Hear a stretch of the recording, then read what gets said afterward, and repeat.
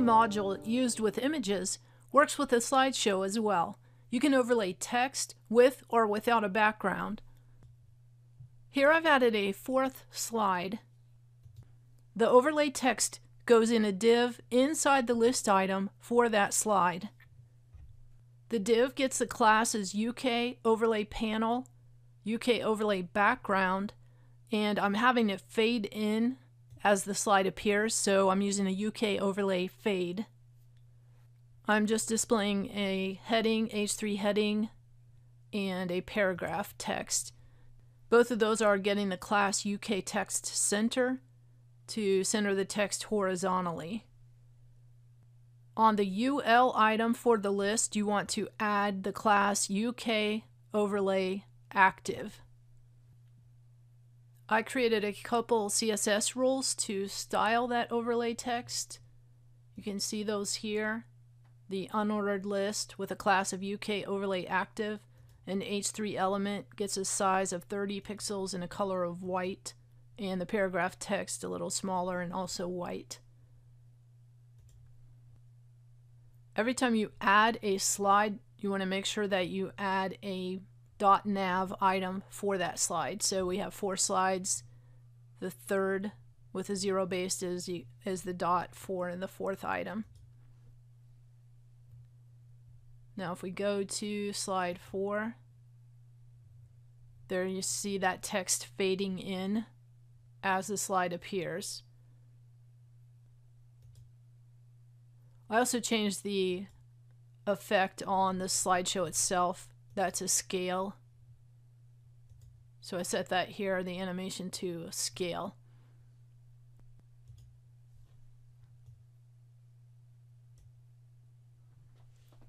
Now I've added a fifth image and this will have an overlay with a colored background and it will slide in from the left. Set up the same way, the image here in the list item and within that list item I have the div that contains the overlay content. Same class is up to here, it's going to take a UK overlay left, so we'll show on the left side of the image. It's going to slide in from the left, the animation. And this is the key to using those left and right.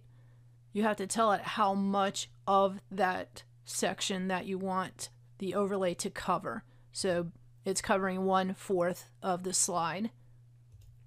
Added the dot nav item at the bottom there. And I've reset the slideshow animation to fold. There's the fold effect. And let's take a look at the last slide. There we see the slide in from the left with the overlay text. You're not limited to just showing images in the slideshow. You can also display HTML content in a slide or even a video. I've added two more slides here. In this example, I'm displaying some HTML content. I'm using the panel, panel box to give a background style.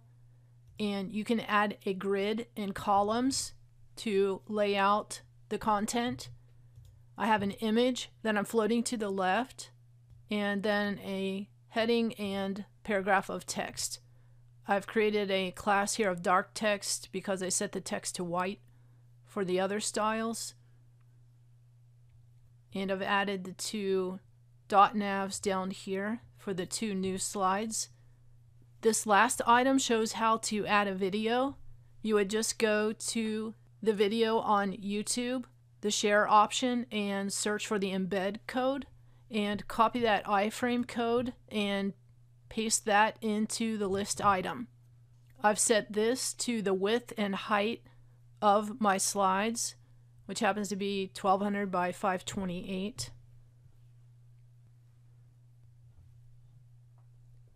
So the next to the last item had our HTML content.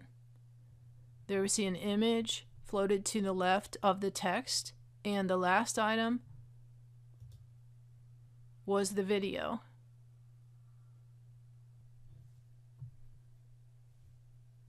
If you want the slideshow to be the full width of the browser, You'll just need to remove the container, the row, and the column classes.